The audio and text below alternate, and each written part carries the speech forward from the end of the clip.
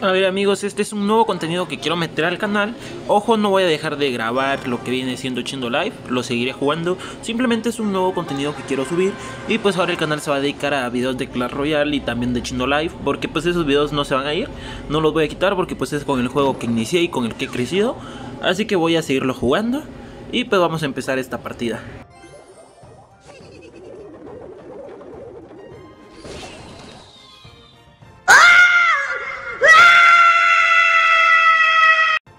Ok, vamos a intentar ir con esqueleto gigante por la parte de abajo. Y tal vez lo acompañamos con un príncipe oscuro, pero lo estoy dudando. Porque él debe tener bastante elixir. Es justo lo que les decía. Tenía bastante elixir para apostar. Así que lo vamos a poner para que el ataque cargado le dé. Esperemos si no nos... Bueno, si el escudo nos lo va a quitar, pero esperemos si no nos lo mate. Ok, yo digo que sí, podemos ganar la partida. La...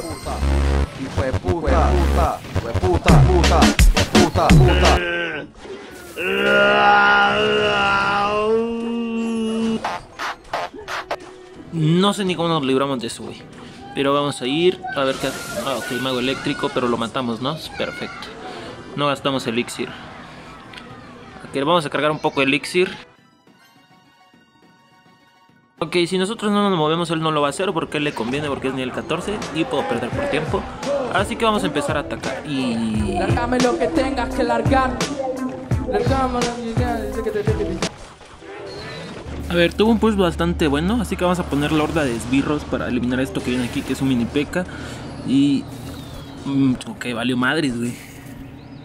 Bueno, por lo menos las torres están más o menos intactas. Vamos a tirar otro barril. Y... Ok, me estoy dando cuenta que los barriles no me van a servir ya que tiene dos hechizos. Es uno pequeño y uno grande, pero pues con cualquiera de los dos me puede matar sencillamente. Y los reclutas también son un gran pedo, güey. Ok, vamos a intentar defender los dos lados. A ver cómo nos sale. A ver, aquí trae Mega Caballero. Ok, así que vamos a dividir la horda de esbirros. Ok, si me hace que va a venir con Mega Caballero de los dos lados porque no ha puesto nada. Se los dije, güey. A ver cómo... No, se pasó de verga. A ver, vamos a poner otro esqueleto. Y vamos a ver qué tanto puede hacer. A ver, también, también es cierto que no tenemos mucho que hacer. No mames, una sola bola de fuego me destrozó completamente. Ok, nuestra única oportunidad es atacar por este lado. Veamos que también podemos hacerlo. Y nos pone este desmadre que la verdad molesta demasiado. Pero pues estamos haciendo bastante es bastante daño, que es lo que importa. Y pues vamos por esa torre, güey. Ya.